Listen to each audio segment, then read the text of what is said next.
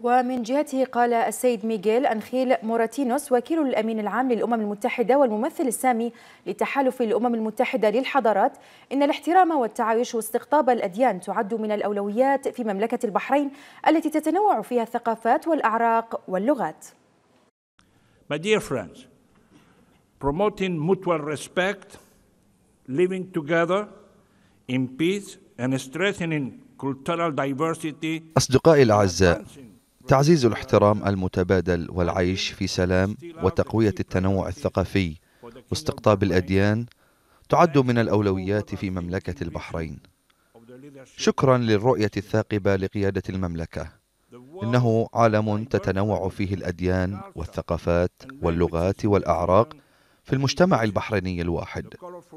مملكة البحرين هي بلد لمئات المساجد وعدد من الكنائس والمعابد.